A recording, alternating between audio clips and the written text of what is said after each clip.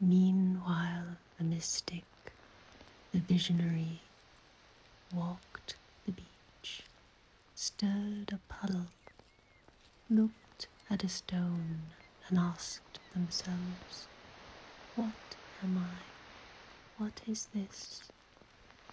And suddenly an answer was vouchsafed them. What it was they could not say, so that they were warm in the frost and had comfort in the desert. You laid me down to the ocean, so lead me down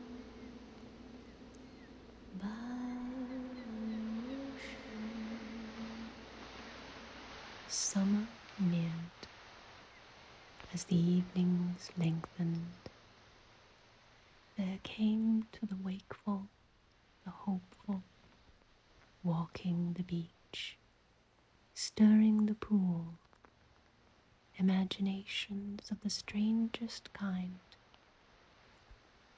of flesh turned to atoms which drove before the wind, of stars flashing in their hearts, of cliff, sea, cloud, and sky brought purposely together to assemble outwardly the scattered parts of the vision within.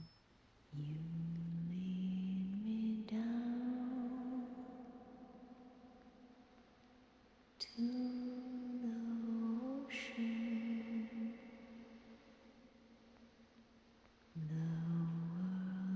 So,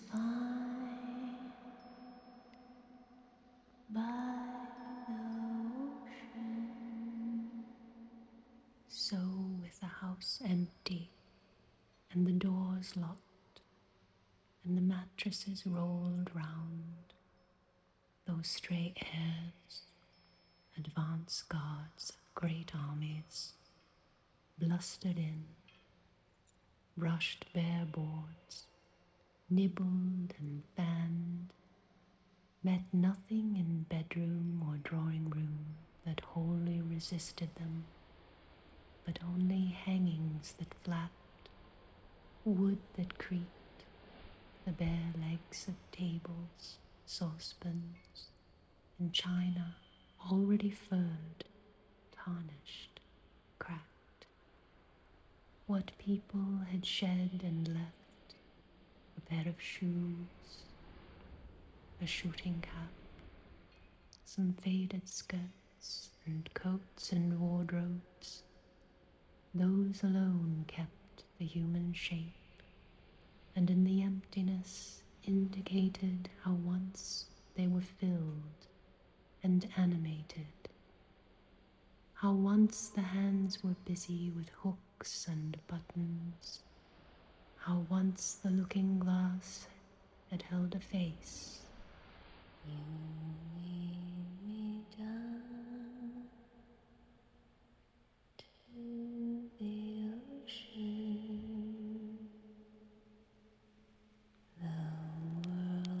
Is. Fine.